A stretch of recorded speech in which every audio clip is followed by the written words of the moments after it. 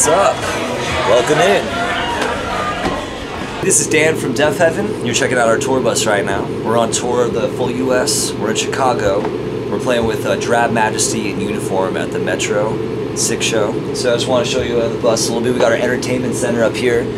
So we do most of our hanging out, kicking it, you know, social situations. We got the DVD player, we got the PS4, we got the TV, we got the icebox full of beers and shit, you know. See, I wanted to play Far Cry 5 until like 5 in the morning every damn night.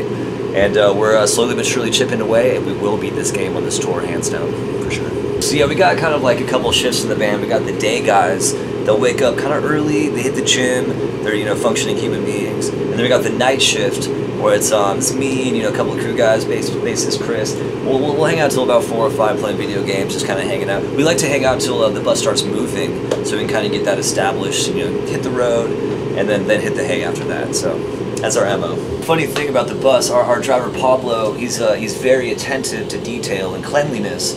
So one day I walked out and I was like, dude, my shoes, like I have no shoes. I'm wearing socks right now, like. I literally walked in the venue like, where the fuck are my shoes? Pablo's like, show you. Shoe drawer, bro. like, thanks, Pablo. Appreciate that, man.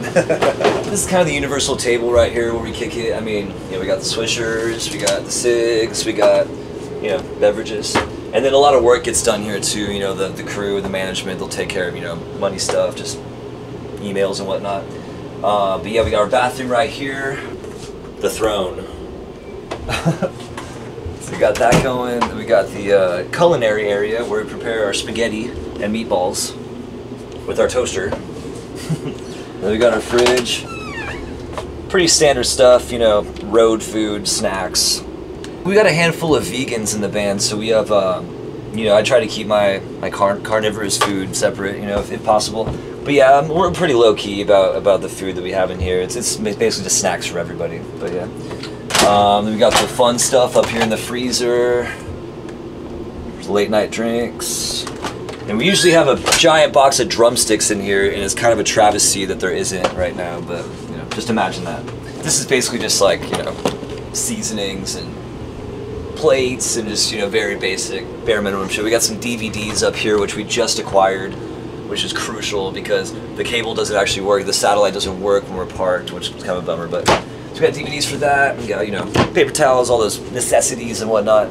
So yeah, pretty much every day when we wake up, we kind of roll out of the bunks. We just check out what we got on the agenda for the day. You know, we got set times. We got, you know, see, obviously I'm doing this right now. Um, and, you know, where we're at, just in case we forget where the hell you are. it happens, trust me. And then uh, check out the bunks. And I recommend holding your breath because it's kind of brutal in here.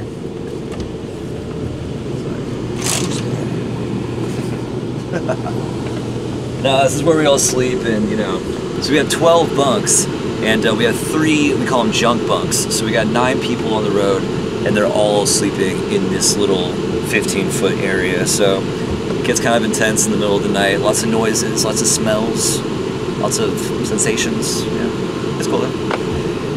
And then we got the back lounge right back here. This is my favorite part of the bus, personally.